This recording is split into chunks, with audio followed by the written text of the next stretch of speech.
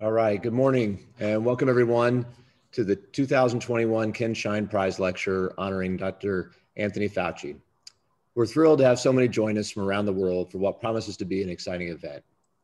Thank you for joining us here and we're here to recognize an American hero and partake in a fascinating conversation about the future.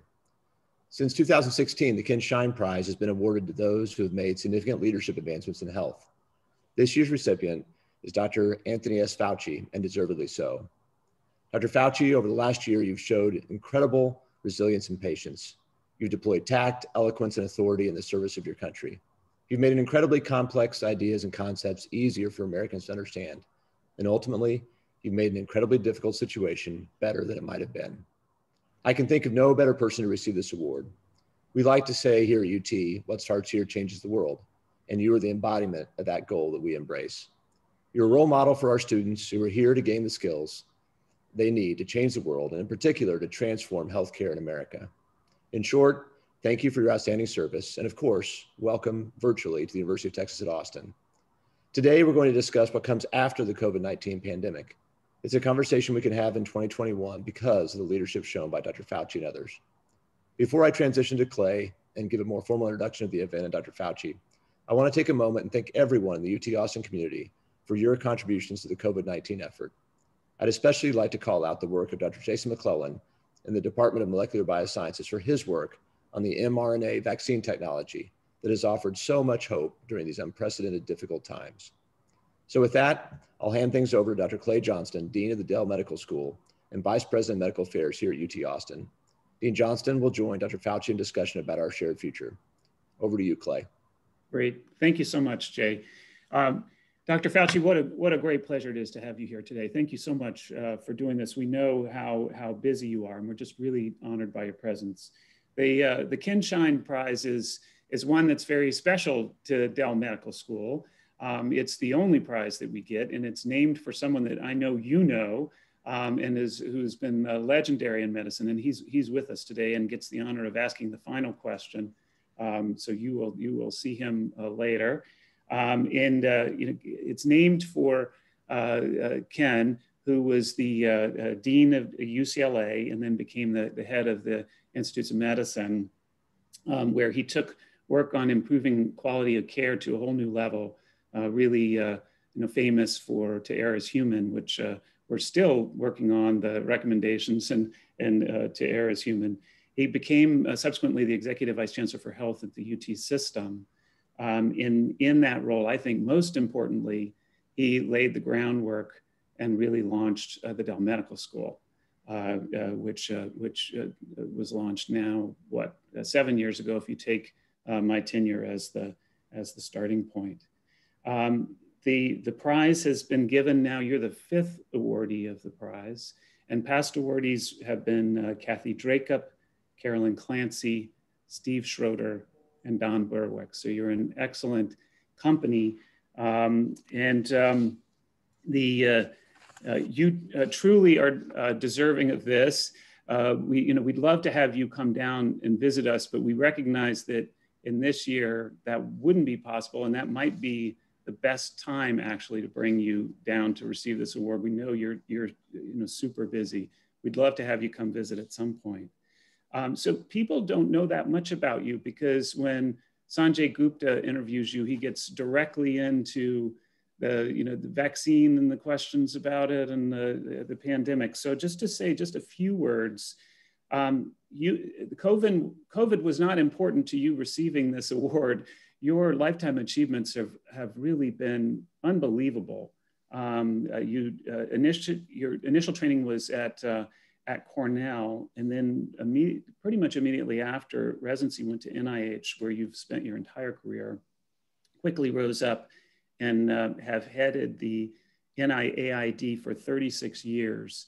Uh, I, I, you know, that it's just amazing. And I know you've been offered many, many other jobs, including the, the job of the person you report to, um, and have declined those through the years. I, I, think for, for me, you became a hero back in the, in the 80s uh, when I was just beginning my career in, in medicine. Um, and, uh, and there was a, a battle between the activists and the AIDS community and you and your office. And um, you did a remarkable job of, of balancing these sort of, uh, I don't know, untouchable premises of, med- of medicine and evidence, and also recognizing the importance of the voices of the people who are affected by, by HIV, and really coming up with some incredibly innovative ways of, of getting therapies to, to people who desperately needed them sooner than otherwise would have been possible. And that flexibility was, was truly uh, remarkable. And you became, well, you went from being the, uh, the, the key enemy to being the hero of the activist community um, in the HIV AIDS world and, and are, you have been honored repeatedly in that.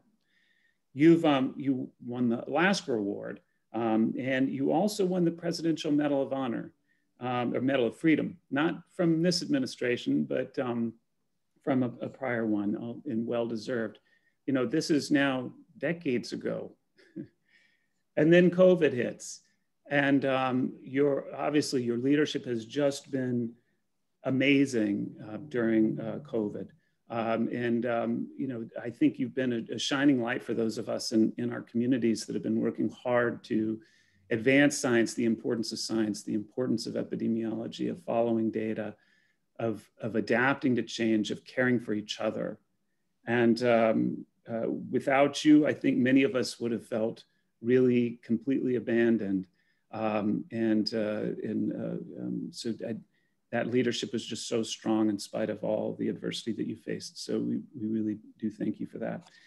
The award itself, we can't, I, I can't hand it to you right now, but uh, oh, and you can't even see it unless I put it in front of myself because of the, of the uh, uh, Zoom stuff, but this is it. Um, it's, a, uh, it's a miniature of a, of a sculpture by uh, Seymour Lipton, um, who uh, um, uh, and the, the, the, original is in our atrium. It's about seven feet tall. Um, and it's, it's called Pioneer. And I'll just read to you what it, what it says on the bottom. Uh, it says, you know, to Anthony uh, Fauci, MD, um, this model of Pioneer, a sculpture created by Seymour Lipton in 1957, represents your spirit of innovation and celebrates your extraordinary contributions to advancing health. So it, it is a wonderful thing that still meets the, the uh, uh, restrictions by NIH in terms of receiving gifts, but it's a precious thing that's in the mail now to, um, uh, to you. Um, so with that, I wanna go ahead and start the questions. So we had, we had a huge number of questions that were asked by our community um, in the in on, online now, both uh, um, on YouTube, also on Zoom. We have uh, over 3,000 folks. Um, so I, I tried to, you, you get asked a lot of questions over and over again, and those are good questions to get out into the public. But we wanted to give you an opportunity to talk about maybe some things that you're thinking about and that we're thinking about that cut beyond COVID, but also get to what you're experiencing. So, um, so I, I, I wanna, I wanna start with just fame. so you've become an icon for, for, for science, for, for health, for medicine, for a positive outlook. I mean, I, it even goes so far as, you know, my, this is my favorite uh, uh, Christmas present is my uh, St. Fauci candle.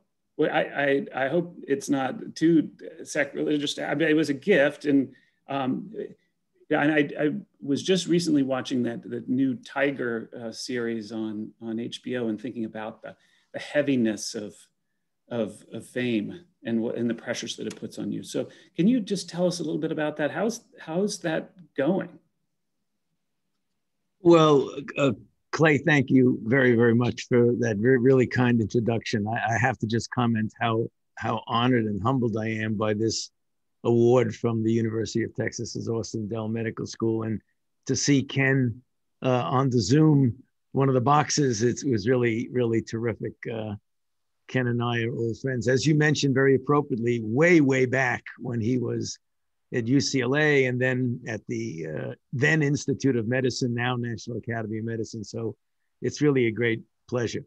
But but to your question, it really is you know, somewhat surrealistic. Um, and people have asked me how I've responded uh, to it. And I think the only way to get through this most unusual year, Clay, is to focus like a laser on the enormity of the problem that we're facing and the role that I, as a physician scientist, as a public health person, as a communicator, and as the director of the institute that either does or funds most of the research involved in the countermeasures, such as the development of a vaccine.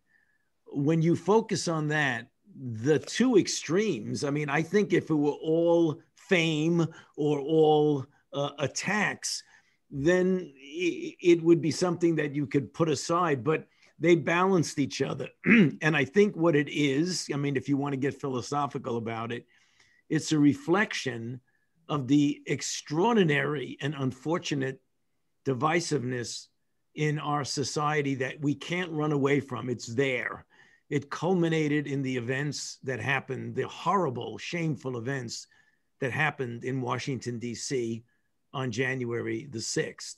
Um, so, with regard to me, you know, on the one hand, uh, I have become for people who are thirsting for clarity, for thirsting for scientific integrity, for actions and policies based on evidence, the things that you and I and Ken have been trained for our entire medical career, there was uh, sort of a void of that which was going on because of the politicization of this. On the other side of the coin, something that I never would have imagined in my wildest dreams that because I say things like wear a mask, do physical distancing, avoid congregate settings, that I've actually had my life threatened and my family continually harassed, including my three daughters. That is stunning that in this country, you have on the one hand someone who's merely a physician scientist. I'm Tony Fauci, no more, no less, who've become the hero to some and Satan to others. So, I mean, I think that I happen to have gotten caught up because of the visibility of what I do and the fact that I'm in, on the White House Coronavirus Task Force.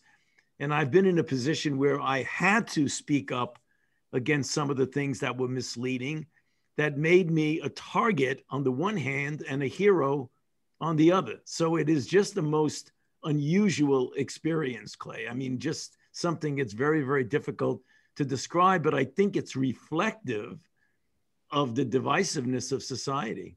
In, personally, I mean, that's got to be it, so extremely hard. Um, you know, that people coming at you in both directions, saying how wonderful you are, at the same time saying that that that you are uh, the devil incarnate. And how, how do you stay sane? Do you, what do you do to take care of yourself? Are you, a, do you exercise or, you know, I, we had a bunch of questions about that. You getting enough sleep? You're okay. Well, um, in the beginning, uh, when we had the big surges mm-hmm. of uh, cases that were dominated by the cases that exploded in the Northeastern corridor, particularly dominated by the New York City metropolitan area, when we had uh, literally task force meetings seven days a week and those press conferences that became so famous or infamous, depending upon how you looked at it, I, I was just um, paying very little attention to my my physical and and mental health. I was just really pushing the envelope to the point of thank goodness for my very uh, insightful uh, wife. Uh, who is here with me at the NIH, um, who really had to point out to me that I had really had to get sleep because uh, I was not sleeping. It was, you know, I, I I described it to colleagues like you and Ken, is that I'm of the era of my age when, for better or worse, uh, you know, I did an internship, a few years of residency, and a chief residency, and every single one of those was every other night and every other weekend and you used to get exhausted. And when you would get a bunch of admissions, one after the other, you just had to suck it up and do it. And that's okay if you do that for three or four days at a time, maybe a week at a time. But when you have to do it for a year at a time, it's just something that, uh, you know, I, I don't know how to describe it. But you get used to it. And and I I joke with the colleagues that I've had to deal with in the White House, you know, tongue in cheek. I would say, if you think this is bad, you should have taken a medical internship in the 1960s. um, but but seriously, Clay, um, probably exercise is the only thing that I have. You know, I used to run through the NIH campus into into the park every day at lunch. I don't have time to do that now, but what I do right now is do that in the evening at night. So I need to get some diffusing before I delve into the hundreds and hundreds of emails that I get and I have to address in the middle of the night. So the short answer to your question is exercise, which I've always done. I've been a marathon runner and a 10K runner. So I do that at night. Yeah, yeah, that helps me too. I'm a runner no more marathons for me, but uh, or for me, or for me. um, so the um, communication has been so important, and that, that's one of the things that you've really brought that's been wonderful um, to to this whole thing. And um, communication's been an important issue, not just now, has been a major issue. For example, with the anthrax episodes after 9/11 as well, which you were key to. Um, how I mean, one could say that this has been a communication disaster. Um, conflicting information, uh, denials, people ultimately believing what they want to believe. Um, internet obviously is critical to that. But what, what are lessons that we can learn in this new environment? How can, how can the Biden administration do something different? Or is it at that level that we need to make changes to Im- improve the quality of, of communications? Well, you know, communications, as we found out, it has really changed uh, in the era of the 24 hour news cycle and social media uh, because anything can be distorted and develop a life of its own of distortion and untruth. I'm not so sure, uh, Clay, what we can do about that, except try to be as consistent as we possibly can and as clear as we possibly can the bane of communication is mixed messaging because when you get mixed messages those who want to distort can always point to the other part of the mixture of the med- uh, of the message. When you have a consistent message from leadership from those who implement it becomes much easier because there are no chinks in the armor no gaps that people can capitalize on. But when you get continual mixed messages, it becomes almost impossible to really get something done that that is not going to get distorted. All you need is one little slip from that, and people will say, "Hey, nobody has any idea what they're talking about," and then that just feeds into the misinformation.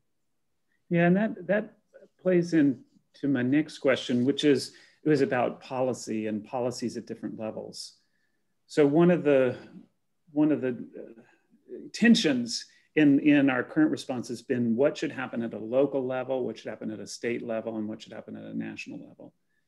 And it feels like the response has really pushed a lot of uh, decision making, uh, a lot of policies to down to either state or local level. Um, in fact, you know, we've spent a lot of time coming up with our own policies on who should get vaccinated and when, you know, subgroups, even though this has been addressed by the CDC at a national level. Each of the states has sort of rewritten this, not, not sure you know, what the utility of that is. On, one, on the one hand, you know, local folks know local people and are you know, able to craft responses that meet local needs. On the other hand, reinventing things that just make sense at a national level may not make sense. So what's your take on this? Did we, did we get the balance of of national versus state and local right, or should should should we push towards uh, a, a different balance as we move forward? Well, you know, looking back, I I have always been one of the bent that there needs to be federal involvement with respect for the federalist approach towards running our country because there are differences among various states that require the flexibility and the creativity at the state level. However, if you push that to the extreme, then you get things, particularly in the context of a common denominator enemy here, which is the virus.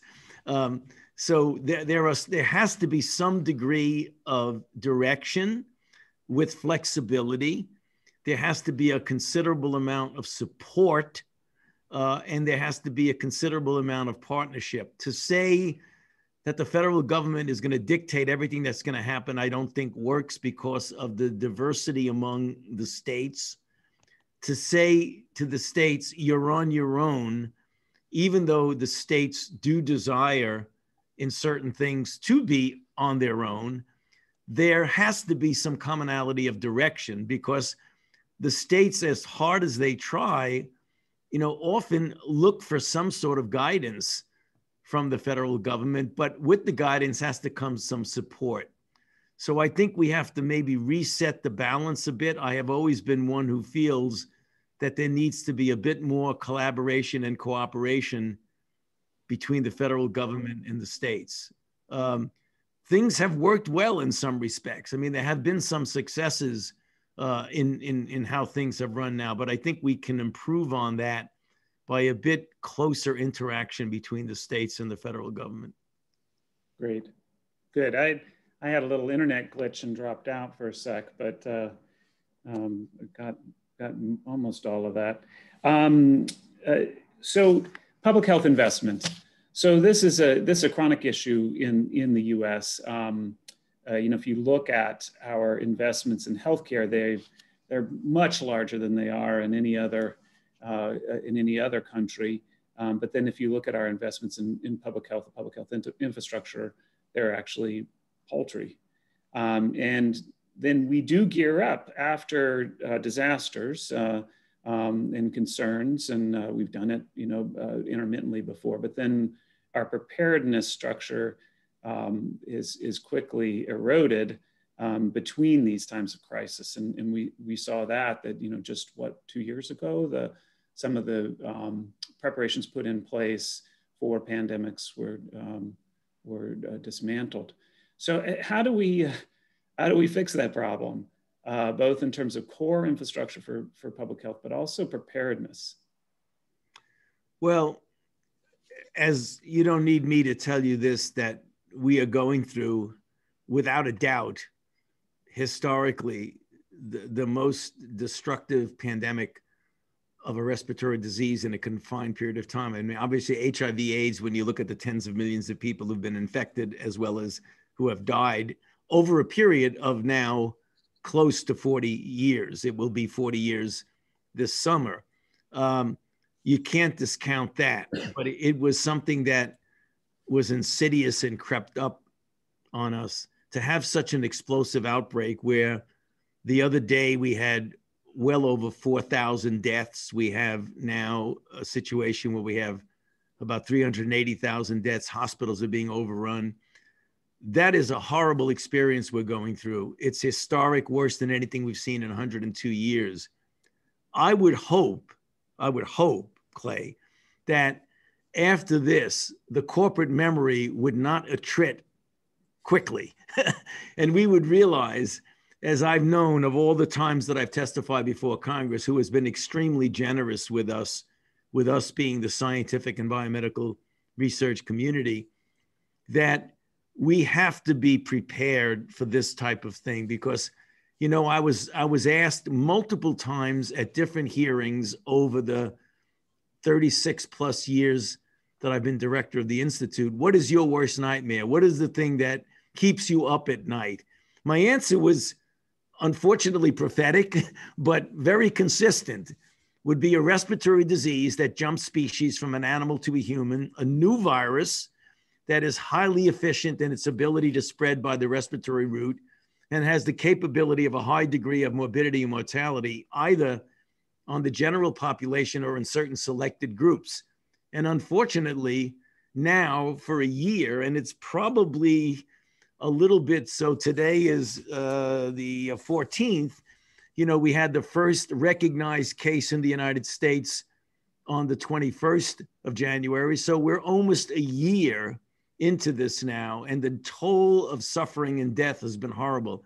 I would hope that we do not forget that and realize that we really do have to take a serious look at pandemic preparedness, including the ability to do massive testing, including the ability to re strengthen our local public health system, which, almost as a victim of our own success over the years, we've let it attrit uh, as opposed to being a robust process that can quickly jump on the on whatever it is is the challenge the need to do identification isolation contact tracing the need to get into the community and get people vaccinated. It's really extraordinary that we don't have that now and hopefully the terrible experience that we've gone through over the last now almost 12 months is going to change that. I, I hope it does. Mm-hmm. yeah well me too. Um, what what about let's let's go to this attack on on science. So, um, I mean, I think I, many of us were surprised at at just um, how much science, almost to its core, not just was de- denied specific components of science, but the approach of science was either completely misunderstood or denied. And I think it in an educated country, it was, I think, surprising to some of us that we could we could deviate this far and not acknowledge all the things that science has done and is doing for us all the time, and sort of cast it aside. So, how, how do we how do we um, how do we build that back up again? That trust and and, and belief in science. Uh, you know, if I had an easy answer to that, Clay, we we we probably would not have gotten in, into the situation we've gotten into. It it really is, in some respects, almost frightening, and um, it has a lot to do, I believe, with the divisiveness and science. Uh, has assumed somewhat of an authoritarian aspect to it because you're dealing with facts and you're dealing with evidence and when people have their own sets of facts and what they consider evidence, uh, which is not, um, you know, with all the conspiracy theories and the idea of fake news and science gets thrown into fake news, and people are are reluctant to take a look at evidence because they made up their own mind about things. I think science has just gotten caught up in the extraordinary divisiveness in our society, which we really do need to address. I mean, I'm not, I'm not a social scientist, you know, and I'm, I'm, I'm out of my lane if I try to give an explanation for it to the depth of people who study this. And I'm humble and modest about that, but I do see it firsthand when you have evidence that is is mind-boggling. And, and the example I give to people that is is chilling, Clay, in that when we're out there telling people to wear masks, to avoid congregate settings, to keep distance, and you're in a state which I will not name because th- then that would be nothing but but get you know uh, sort of divert away from what the issue is. But there are states and cities and regions where the hospitals themselves are being overrun in the sense of you have 20 ICU beds and you have 50 ICU patients, and you're bringing in nurses and, and retired healthcare professionals to take care of them. And in that environment, people still say it's a hoax and there's no such a thing as COVID 19. And it's just a conspiracy to be able to do whatever it is the latest conspiracy is. It, it, it seems to me to be unimaginable that when in your own backyard that is happening and people are dying at the tune of three to 4,000 per day, and there are still people who think it's fake and it's made up and it's a conspiracy. We have a long way to go to try and overcome that. And I think the answer is not going to be to just blow them aside and say you're crazy. We've got to engage and figure out what is it that separated us so profoundly? I mean, I don't have the answer. I don't know, Clay. I really don't. Yeah. Yeah, it is. It's it's just really remarkable how humans can can believe, you know, and what it is that pushes them to believe a certain thing. I mean, I think that's one of the things that on the science side we we never believe anything really firmly right i mean we we're always questioning whether we have it right we're always re-examining we always are humbled by our our ignorance and and yet so many folks now are so convinced that they're right even when everything in reality uh, lines up against those beliefs. Um, so some of our institutions have have come under attack as well. Um, the, the CDC, the FDA, the NIH, um, really getting sort of stuck in, in uh, uh, politicization and, and um, pulled away from the, the science at their foundation. So how, how do we how do we protect these uh, these I mean critical critical institutions um, uh, going forward? Is there a way to to um, have them uh, consistently rise above the politics um, and protected from you know the, the, the winds of change in, in, in uh, the White House. Yeah, you know, that really varies from administration to administration. Um, and, um, you know, I have now, uh, as you know, Clay, I've been at the NIH forever for multiple decades. I've been director of the Institute for almost four decades. And with each different administration, you have different styles and different uh, perceptions about what the role of the political um, uh, enterprise is in those areas of government in which you have presidential appointees. Um, uh, to what extent should they be loyal to a president versus loyal to the situation vis-a-vis uh, the area that they're responsible for and and the and the multiple areas in one particular department uh, the department of health and human services when you're dealing with health and science that gets tricky because you know science goes for evidence and facts uh, not politics. And uh, when you have uh, organizations like the NIH, the CDC, and FDA, they they can be vulnerable to political uh, influence, but most of the time they're not. I mean, thank goodness if you look at the history of those organizations, I mean, as a scientific community, we've been pretty lucky over the years, over multiple administrations,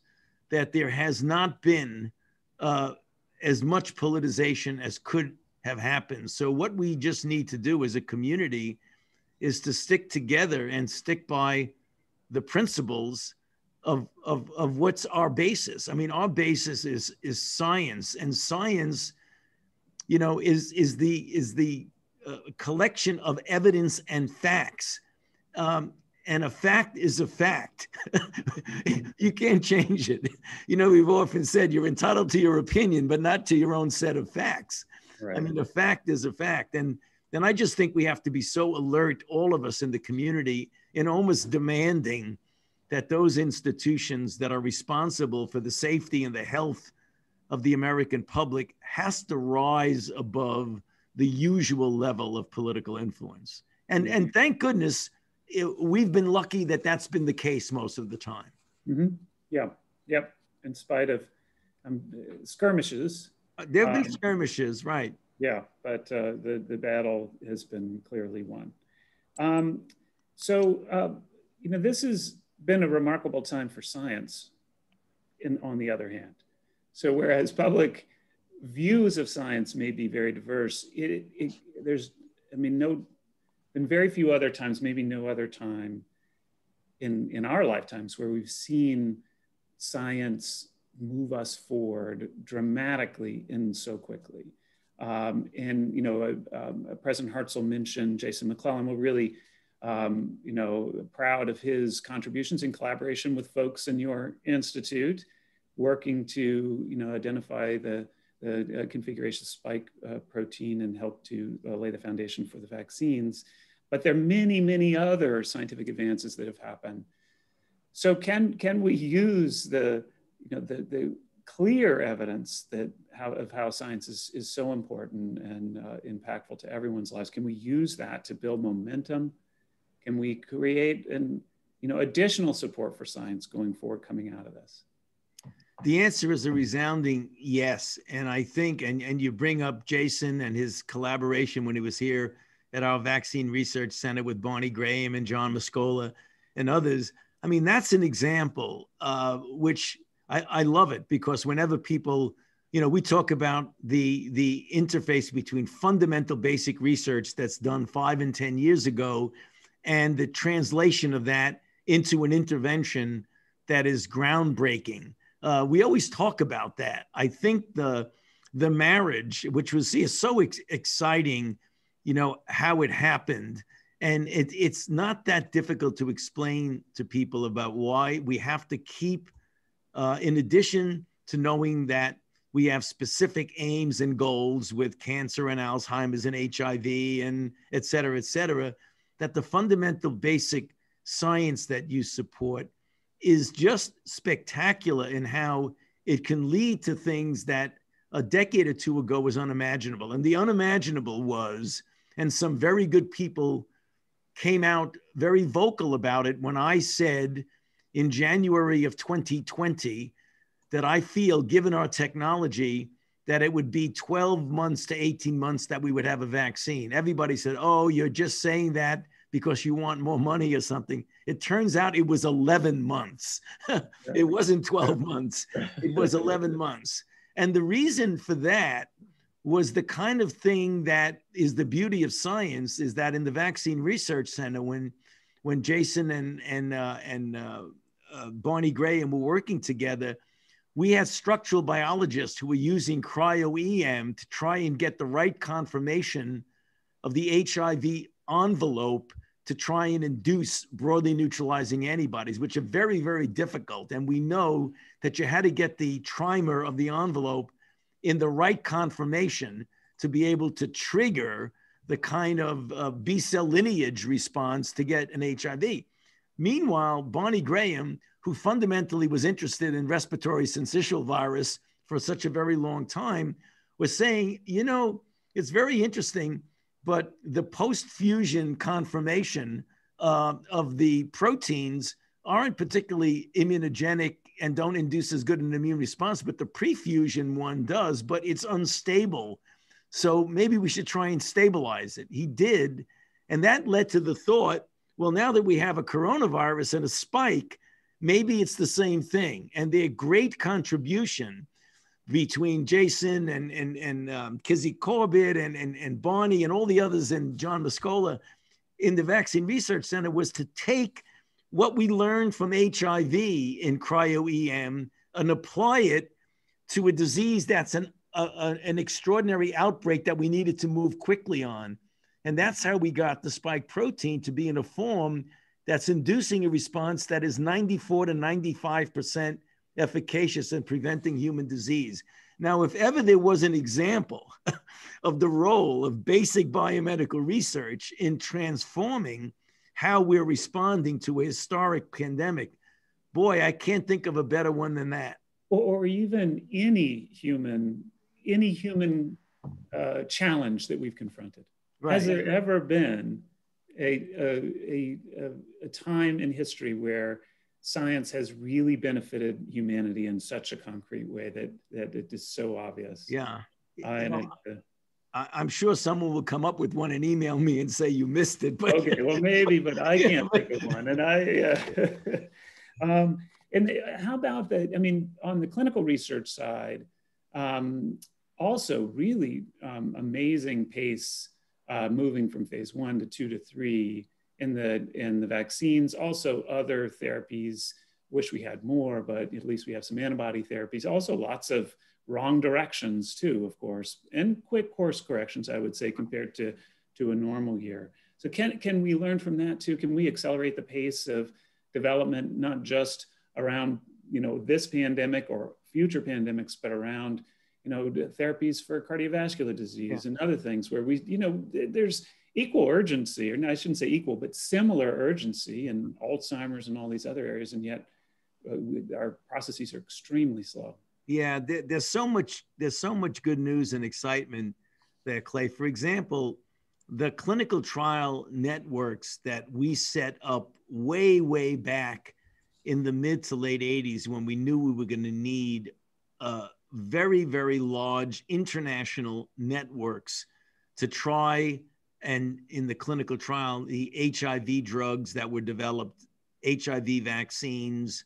prevention networks, all of those things we invested hundreds and hundreds of millions of dollars. As soon as we had COVID, together with the companies involved, we collaborated to use many of those sites, which were COVID prevention network, which were originally established for HIV prevention, vaccine, uh, ACTG, all the things that we invested, we pivoted very quickly and turned them into a clinical trial network of people who really knew what they were doing. These were people who had extensive experience in clinical trials. So instead of starting from square one, we just pivoted into COVID 19. So that was one of the things. The other thing that you mentioned is the promise now of new platform technologies, including but not exclusively mRNA, that if we can get some of the cancer vaccines and some of the vaccines against HIV or tuberculosis or malaria and use those new platform technologies, we may be able to truncate the time it takes to get vaccines for those major killers in the world. Mm-hmm. Yeah, great. So, I mean, one quick question, and then I'm going to hand it to Ken to, to ask the last question. So, um, we're going to be out of this at some point you know, and that you could you can give us your your prediction. We've heard them before though. So let's just say it's a we'll get a year from now, so we're not overly optimistic. So what are you most looking forward to doing when cases are down and this is all behind us and we can all look sort of rear view mirror? What's what's the thing that you're most looking forward to doing at that point? I'm looking forward to getting my children back to visit me in our house. You know, I, had a, a, a birthday just a few weeks ago, and I felt strongly. My my children, who are late twenties, early thirties, three girls, who uh, obviously are very sensitive given given my age and the fact they'd have to get on an airplane to get here that they did not want to endanger me. And i wanted to practice what i preached because i was telling the rest yeah. of the world and the country you shouldn't travel. The thing i look most forward to is having my children with me in my own house with my wife. Under, understood. I, I can hear you. All right so i'm going to now hand it to uh, to the esteemed dr ken to uh, to ask the last question. Thank you very much um, uh, tony thank you so much for joining us uh, as an octogenarian, I want to wish you a happy birthday and welcome to our group. Uh, I think you, you gave a nice introduction, Clay, but I would point out to you that 25 years ago, I was chair of medicine at UCLA and Tony was visiting professor. He is a superb bedside physician. I mean, with all this talk about policy and, and, and uh, so forth, it's, uh, uh, very important to recognize that his roots are in taking care of patients. It's also important to point out that uh, his contribution clearly articulates the enormous overlap between clinical medicine and public health, which has historically often been thought of differently. Uh, Tony, I'm very proud of the fact that our founding dean, Clay, is a neurologist, but who has much of his work is epidemiology of stroke. So he brings many of the skills of public health to our medical school. Uh, the question I wanted to ask goes back to the notion of how we're going to maintain our preparedness. Uh, Don Berwick and I chaired a working group for a year or two on preparedness, ended up writing a paper which appeared in JAMA in February of last year, ironically lamenting the lack of a plan for surge capacity, supply lines, a whole variety of workforce issues, and so forth. And at the time, we were trying to figure out how we were going to get support for this long term. And I hope you're right about the fact that the impact uh, of COVID has been large enough that public policy should be influenced. But at the time, we argued that a major catastrophe would have profound economic consequences. And we reasoned that if there were ever going to be a, a serious public private attempt to improve preparedness, um, then this was a way to go. And I'm wondering whether the profound impacts of COVID uh, on industry, on business, is such that we could invent some new ways uh, beyond the traditional ways to support public health and preparedness, which might be useful. What are your thoughts about that? No, Ken, I think you're right on the money on that one. Uh, no pun intended about money, but you really are absolutely correct.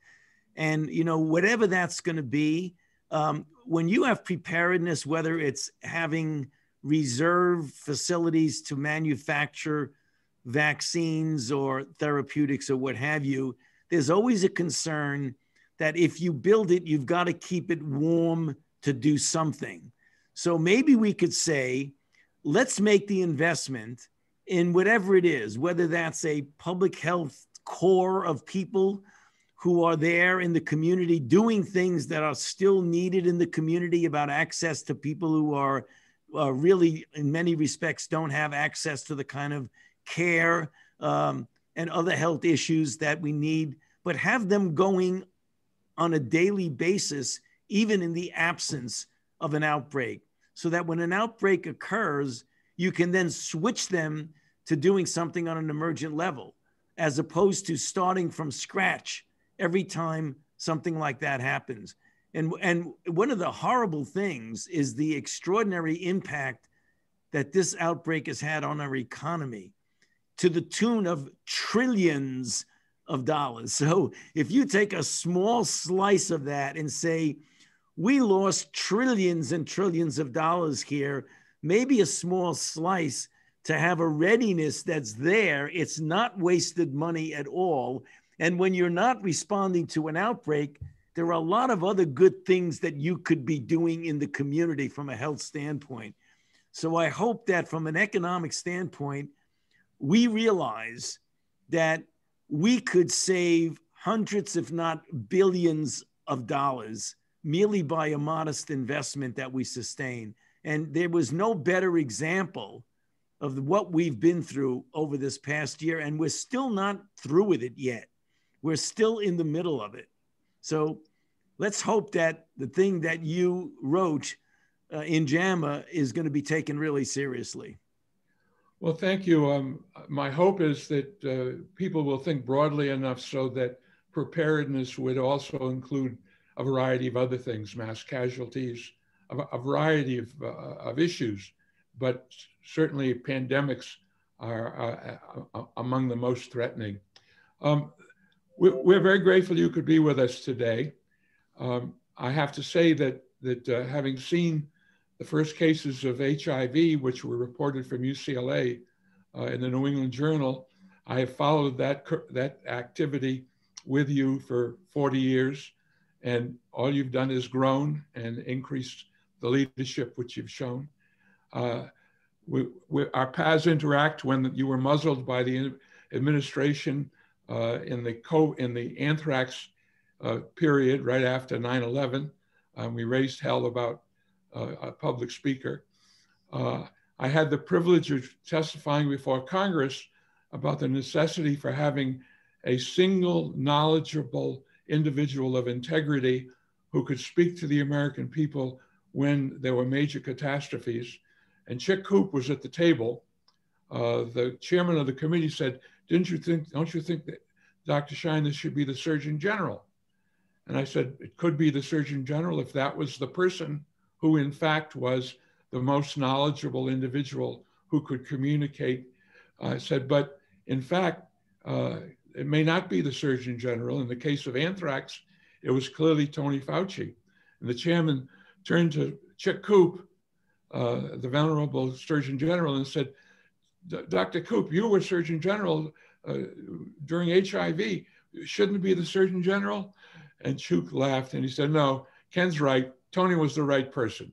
So I just want you to know that uh, your, your celebrity has been extraordinary. I was disappointed.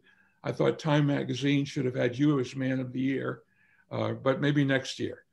So again, on behalf of the Dell Medical School, which is young but growing and doing neat and exciting things, innovating in education and the relationship of public health and, and medicine, uh, we're very grateful to you. Thank you for all that you've done for not just medicine and health uh, and people, but for society in terms of the integrity and, the, and, the, and the candor and the honesty which you represent. Those are values which are critical to our society, no matter how, what area we're talking about. Those are values which you represent to the nth degree. We're very proud of you. Thank you for being here. Thank you, Ken. I really appreciate those words. Thank you very much. And it's really such an honor to receive an award that's named after you. Really wonderful. Thank you. And thank it's been a great pleasure. Ken said it beautifully. I'm not going to add anything to that. Thank you so much for joining us today. Uh, it is in the mail and um, just a small uh, token. At some point, we'd love to have you come down. Um, and uh, again, a great honor to speak with you today. Thank you very much, Clay. And thank you very much, Dr. Hartzell. I really appreciate this honor. Take care. Stay safe.